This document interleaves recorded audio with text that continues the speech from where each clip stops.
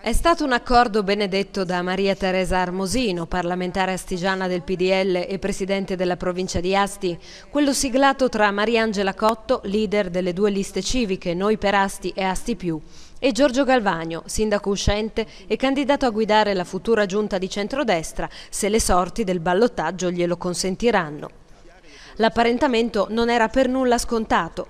Alcune voci infatti serpeggiavano un'iniziale intesa Cotto-Arri per Fabrizio Brignolo.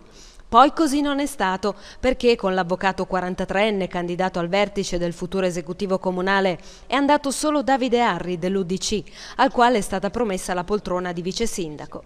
Quindi la decisione di Mariangela Cotto, che al primo turno elettorale aveva ottenuto l'8,87% dei voti, è ormai presa e con Galvagno ha deciso di condividere una linea programmatica caratterizzata da diversi punti. Lavoro e sviluppo economico, recupero dei contenitori vuoti, una de-equitalizzazione del comune, servizi sociali e tutela dei fiumi. Abbiamo concordato i punti che noi portavamo avanti come nostro programma, dobbiamo dire che abbiamo trovato in Giorgio Galvagno la massima disponibilità ad accogliere tutto quello che proponevamo. Dunque a seguito di questo apparentamento e nel caso in cui vincesse Galvagno lei si aspetta un assessorato? No, io l'ho detto fin durante la campagna elettorale che non sarei entrata in giunta.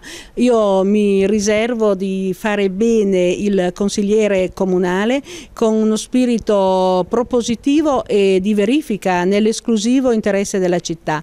Mando avanti dei giovani, mando avanti delle donne proprio perché sono convinta che cambiare si può e penso che la nostra città debba essere governata da tutte le generazioni.